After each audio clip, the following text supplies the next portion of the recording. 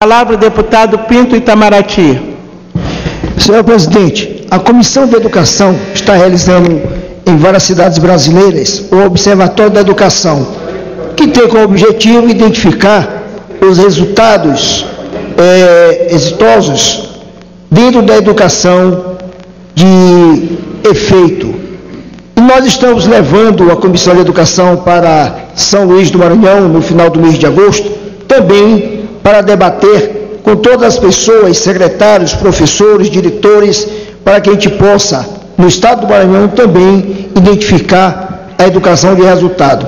Da mesma forma que nós aprovamos ontem um requerimento de nossa autoria, onde nós convidamos o secretário de Segurança do Estado do Maranhão, o secretário de Segurança aqui do Distrito Federal, também do Estado de Pernambuco, para debater o baixo efetivo policial do país assim também como aplicação do baixo orçamento. Era isso que eu queria dizer e vamos estar debatendo segurança e educação.